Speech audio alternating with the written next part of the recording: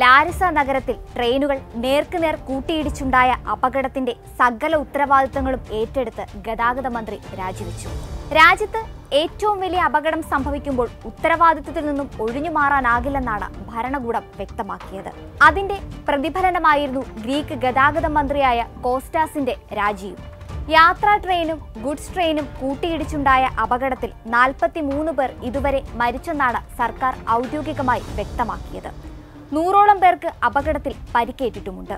പലരുടെയും നില ഗുരുതരമായതിനാൽ മരണസംഖ്യ ഇനിയും ഉയരാൻ സാധ്യതയുണ്ടെന്ന റിപ്പോർട്ടുകളും പുറത്തുവരുന്നുണ്ട്. മരിച്ചവരിൽ പലരെയും ഇപ്പോഴും തിരിച്ചറിഞ്ഞിട്ടില്ല.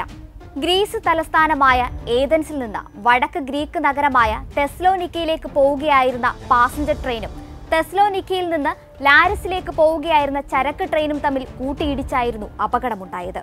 കൂട്ടിയിടിയുടെ ആഘാതത്തിൽ യാത്രാ ട്രെയിനിന്റെ നാല് ബോഗികൾ പാളം തെറ്റി.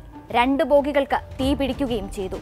ട്രെയിനിലേക്ക് തീ പടർന്നതാണ് അപകടം തീവ്രമായത് എന്ന റിപ്പോർട്ടുകളും പുറത്തുവന്നിരുന്നു പാസഞ്ചർ ട്രെയിനിൽ മുന്നൂറ്റി നാൽപ്പത്തിരണ്ട് യാത്രക്കാരും പത്ത് ജീവനക്കാരുമാണ് ഉണ്ടായിരുന്നത്.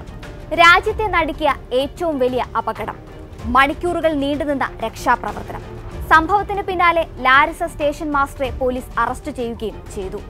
അപകടം അപ്രതീക്ഷിതമായിരുന്നുവെന്നും സംഭവത്തെ അപലപിക്കുന്നു എന്നുമാണ് ഗ്രീസ് പ്രധാനമന്ത്രി വ്യക്തമാക്കിയത്. ദാരുണമായ മനുഷ്യപ്പിഴവാണ് വൻ ദുരന്തത്തിന് കാരണമായത്.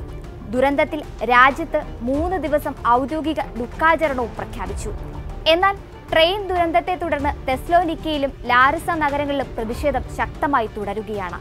ഈ അപകടത്തോടു കൂടിയുള്ള ഗ്രീസ് ഗതാഗത മന്ത്രിയുടെ രാജിയും ഭരണകൂടത്തിന് തിരിച്ചടിയാണ്. രണ്ട് ട്രെയിനുകൾ ഒരേ ട്രാക്കിലെത്താൻ കാരണം എന്താണെന്ന് സംബന്ധിച്ചുള്ള അന്വേഷണം പുരോഗമിക്കുകയാണ്.